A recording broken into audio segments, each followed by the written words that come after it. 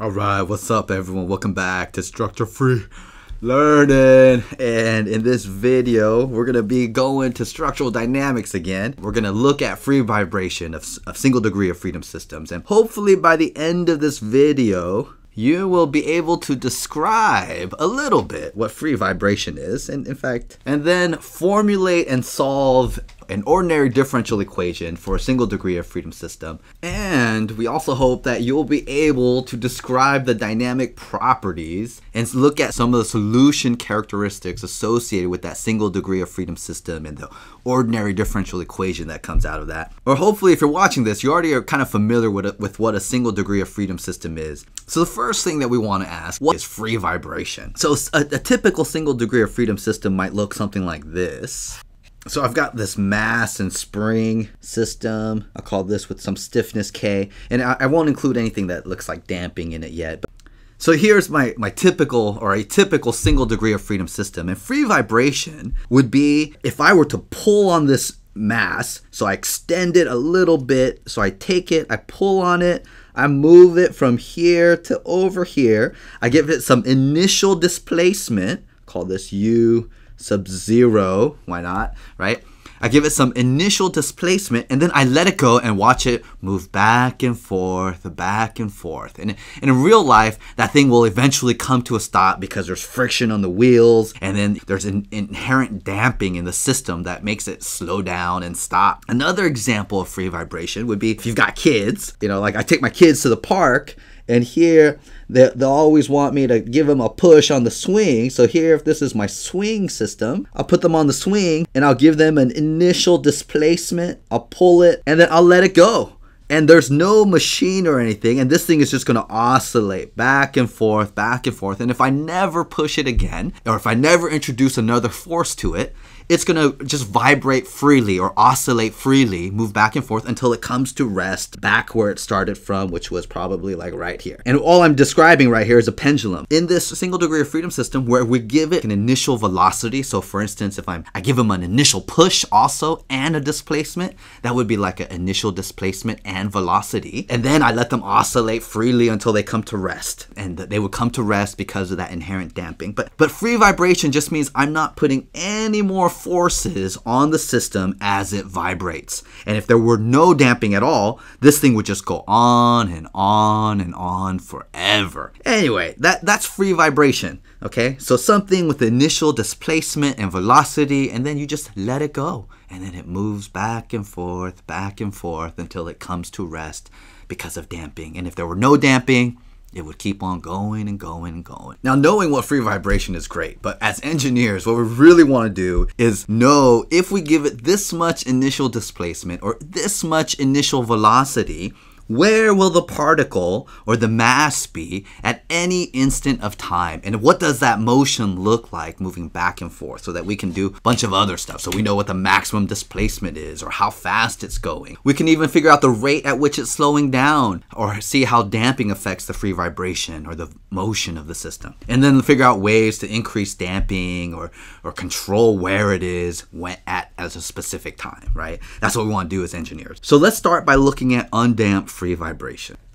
After reading the definition, you know, they have an example of a child on a swing, but hey, I, I really, I really thought of that on my own because, you know, I push my kids on a swing for real. and, and also, you know, I, after reading it, I also thought of a, a like a, a, guitar string. If you pluck a string on a violin or, or a guitar and just let it go, that would be free vibration too. What's up? Now, the equation of motion is, is always an important thing. And the equation of motion for a single degree of freedom system. And let's say this point right here represents the at rest state. So this is my origin or my equilibrium point, and we'll define motion going towards the right as positive. So I'll call this the motion of the of the mass as x. And this x or this position is a function of time here. And if I, you know, do an equilibrium equation or if I make a cut, draw a free body diagram and do some of the forces in the horizontal, I can come up with an equation of motion which will look like this. And x double dot indicates a second time derivative. So really this is an acceleration, which would be d squared x over dt squared.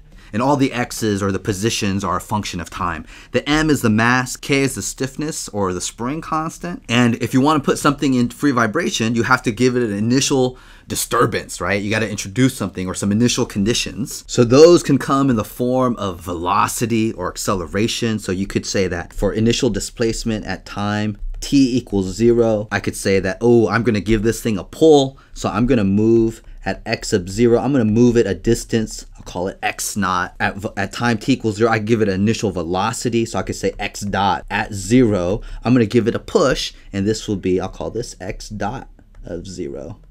Boom. So this is like the pull and this is the push. What I have here is an ordinary differential equation with some initial conditions, which means I can solve this using my math, my calculus, and get my position as a function of time for this whole thing based on these initial conditions. Hey, given all this, I can find the position as a function of time. I can have a solution for this right here based on this, the differential equation and my initial conditions.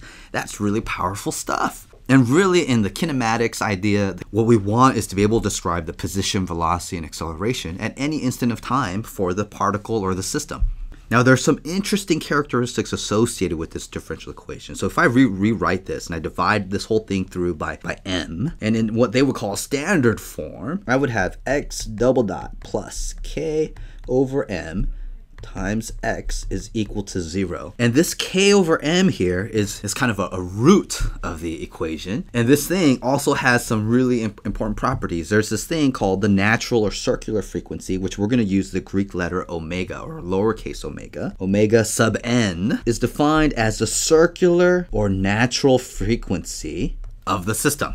And here, omega n squared is equal to k over m. So the natural frequency is equal to the square root of k over m. And the units of this natural frequency, these units are radians per second. So Some people like to express uh, this this natural frequency in other units as well, like revolutions per second or revolutions per minute, like RPMs on a car, or cycles per second. And one cycle is the same as one revolution. One cycle is equal to 2 pi radians. If I wanted to express this natural frequency in terms of cycles per second, the symbol I would use would be F this like cursive looking f, just a conversion. If I want to express it in cycles per second, it would be omega n divided by 2 pi. And this would be, in typically the units of this is cycles per second or revolutions per second. In your car, it's revolutions per minute, so you got to convert the seconds into minutes, and that's